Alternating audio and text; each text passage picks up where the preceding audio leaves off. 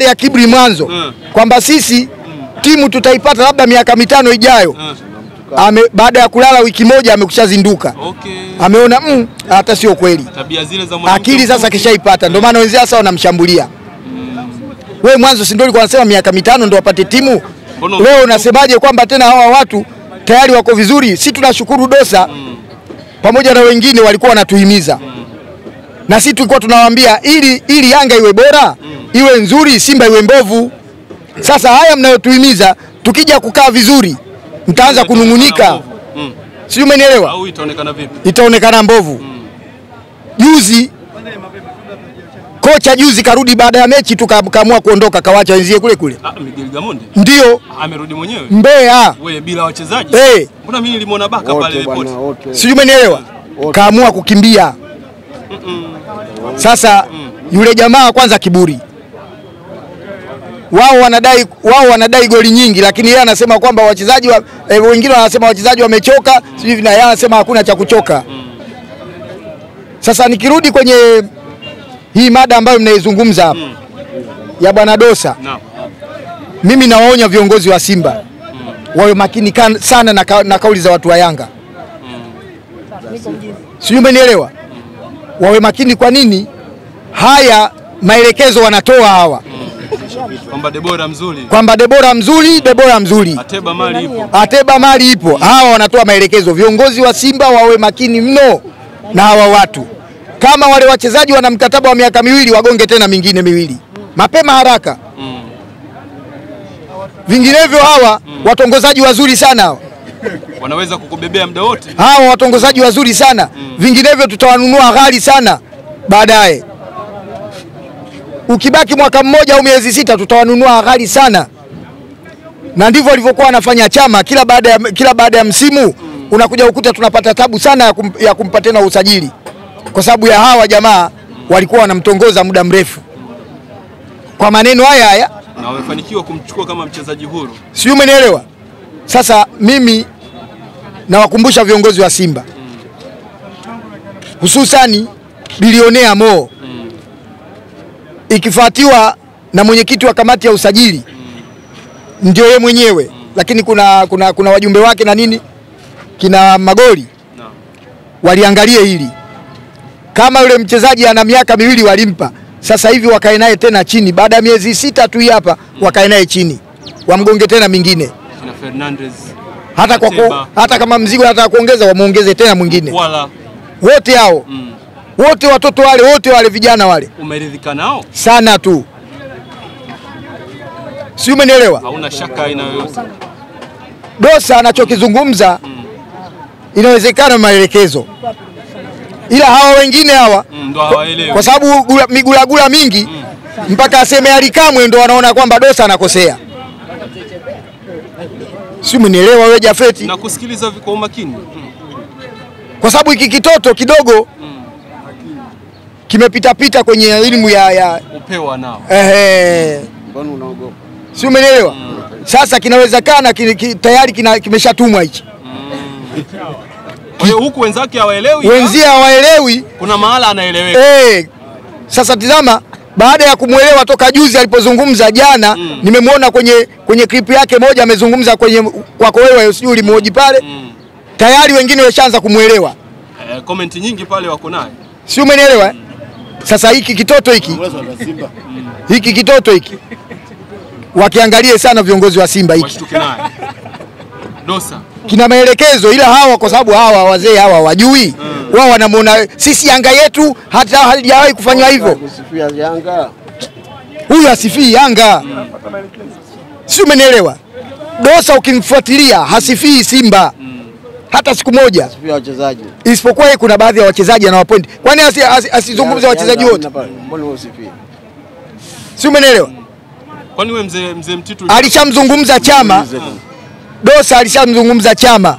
Hakuna mchezaji bora katika Afrika kama Chama. Hakuna mchezaji, yani Chama ni mchezaji mkubwa kuliko wachezaji wote, ni mfungaji bora wa Afrika kwa muda wote. mchezaji wa bara anamuita. si umenielewa? Sasa akimzungumza Debora kwamba ni kiungo bora sasa hivi, akimzungumza Barua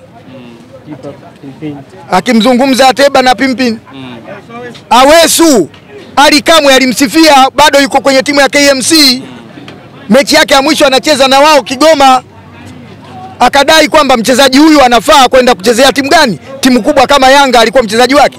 Kwa nini yule asichukulia wasimbezi hao wasimchukulia hatua kumwambia kwamba huyu hafai kuwa, kuwa Yanga? Hiyo wamemchukua Yanga. Kibu na walimtaka Yanga. Sisi wakati tunamsajili Awesu, Yanga ndo alifanya fitina ya sisi kuambiwa kwamba yule mchezaji kwa nini anakwenda ana- Simba. Huyu hajui, Chembela Chembela hajui hayo, sio mpekenyuku.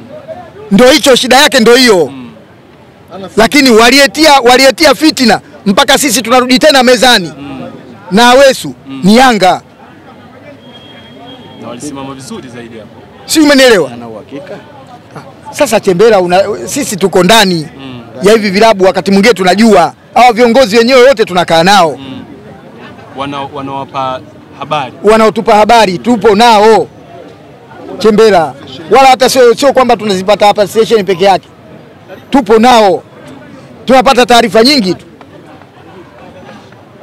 Kwa hiyo- rai yako ni kwa viongozi Rai yangu kwa viongozi wa Simba, washtuke. maanake nimekaa muda mrefu nikams- kama mtego hivi. nikamsaili huyu mtoto ah, Kona ingia. niko kule namsikiliza, nikasema huyu ana maelekezo huyu, Sasa hivi ame, ame, amejua kupangilia sana maneno.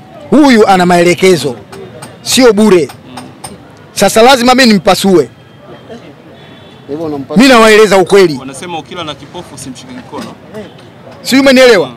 Huyu mtoto yuko kwenye maelekezo, na hawa wakati mwingine wako kwenye maelekezo hata kuwapumbaza wachezaji wetu kwa kujitia kuwapa sifa. Ili wapumbazike, waone- waone- waonekane, kwa sababu wale vijana bado wageni hapa. Na majina bado. na majina bado hawajawa na marafiki wowote. Sasa hawa tayari watengeneza urafiki, ushoga na nini, ili kujitia wao wako karibu na wachezaji, kufanya mipango ambayo wao wanaijua, wawaache. dosa, dosa ukome. Kauli hiyo futa kuanzia leo. Hatutaki usifie wachezaji, mchezaji yoyote wa Simba wasifie wachezaji wako wa Young afrika anasema hafuti. Wachezaji wako unao wasifie, uliowasajili wanaokupa manufaa ya goli sita, goli saba, si tuacheni hivyo hivyo, Anasema hafuti. si umenielewa? Dosa, umenielewa? Hafuti. Dosa, umenielewa? Nimekuelewa.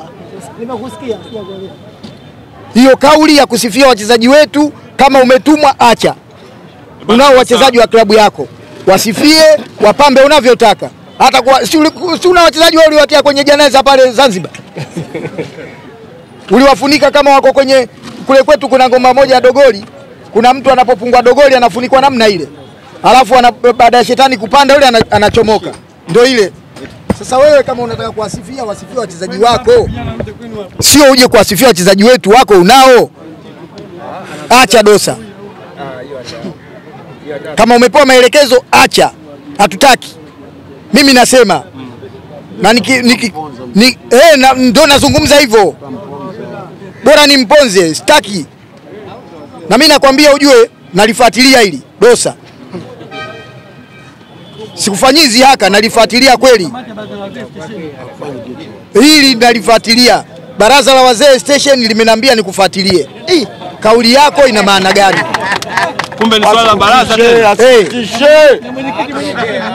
Huyo mwenyekiti mtoto mdogo na huyo naye mtoto mdogo asikutishe. Haya, Mimi nakwambia. sawa. Sasa haya ni maelekezo au ni kweli unafurahishwa Unamtisha mtoto wangu hapa bure bwana, unamtisha. Usiogope, ongea. Sasa ongea wewe, unamkubali maneno anayoongea leo ya kusifia wachezaji wa Simba? Ah, Simba. Kwanza kwa juzi umemvua makamu. Mimi nilishazungumza hilo swala kwamba Simba ikija kukaa vizuri itasumbua. Sijawahi kuzungumza. Wewe si ndio makamu huyu? Eh? Kwa nini nimemwambia kwa sababu gani? Si umemwambia baada ya kusema kuonekana kwamba anazungumza na eh, kuwasifia wachezaji wa Simba? Hilo ndio mimi nilomsimamisha huyu. Umemsimamisha kuhusu nini? unajua? Huyu mtu mfupi na akili yake fupi. Ah, mimi msimamisha kwa sababu gani? Ah. kumwagiza rais wa Young Africans Sasa kosa, kwamba amekosa usingizi kwa sababu ya demo. sasa kosa Ndio wao wameliona wametafsiri kuwa ni kosa. Ndio yeye sasa tafsiri yake, mm. lakini huyu ana maana yake. Wewe Na umeijuaje? maana huyu akapata rais wa Young Africa. Mganga Hili gula alielewi chochote. Wewe mganga kienyeji au ndo ya madogoli kisha kwa mganga huyu? Ah, tayari. Eh, hawezi kumtabiria huyu. Ameshafuatilia. Bane, baraza la wazee la station. Limeniagiza mimi, ndo- mimi ndo mwenyekiti wa baraza la wazee na kufuatilia. Dosa. Acha. Atakuponza huyo. Mimi nimekurudisha uko tena vile vile mwenye Umemrudisha kutoka wapi? Una Nasema ajeongea huko na mamlaka ya huyo. mamlaka ya Hakikisha huko nayo, ndio maana unasema Ah, umemrudisha. mzee wenyewe station nani wewe? Baraza, baraza. Kaomba dua huyu mara 15 na Simba wote imefungwa. Dua dua linapoombwa sio lazima likubalike. mmoja kama mali. Eh, dua dua kuombwa dua Wewe nani sio kwamba likubalike. Unayemuomba humuoni, Mimi nisikize ana mimi. mamlaka yake ya kukupa wewe dua ama kukunyima. Nisikize mimi. Huyu mtitu anataka taka sifa na unamjua. Nisikize mimi. Unapotaka kuongea, ongea. Asikutishe. Sasa kabla hujaongea, amekukubali uendelee kusifia wachezaji wa Simba, wapi huyu?